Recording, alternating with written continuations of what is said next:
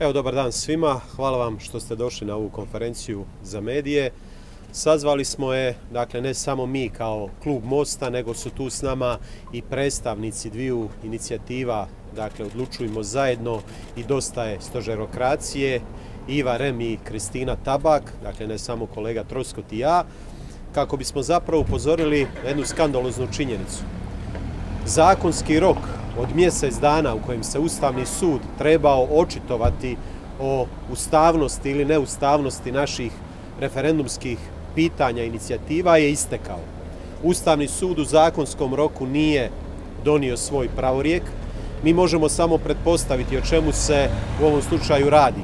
Možemo pretpostaviti da se radi o velikom pritisku vladajućih na Ustavni sud kojeg su oni iskadrovirali zajedno sa SDP-om i e, razlog kojeg su naveli da Ustavni sud nije u zakonskom roku donio pravorijek je navodna dodatna dokumentacija koja je došla iz Hrvatskog sabora.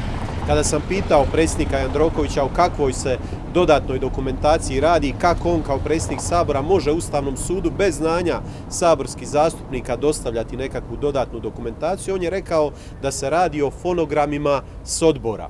Ja ovdje postavljam pitanje utječe li na ustavnost naših referendumskih pitanja, to kako su pitanja sastavljena i što smo mi napisali u obrazloženju ili utječe na ustavnost samih pitanja što je rekao Branko Bačić na odboru ili možda Milorad Pupovac na odboru za Ustav.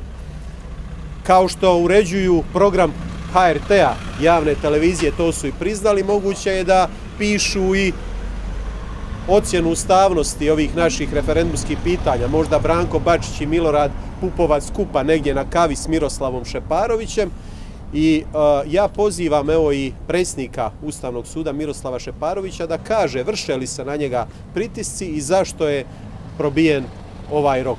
Mi zahtijevamo hitno raspisivanje referenduma i zahtijevamo dakle da se Ustavni sud što prije očituje, a ovo odugovlačenje samo pokazuje da su naša pitanja ustavno neoboriva. Sad će nešto reći i predstavnica inicijativa Iva Rem. Dobar dan svima.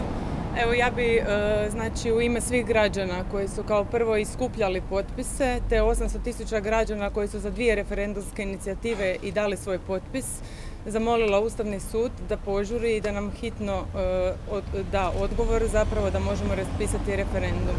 Znači 800 tisuća građana e, htjelo je promjenu, 800 tisuća građana je u zimskim uvjetima e, potpisalo za dvije referendumske inicijative, a danas 10.5. još uvijek nemamo ništa.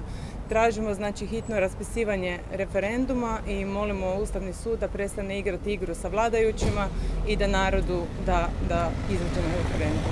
Hvala.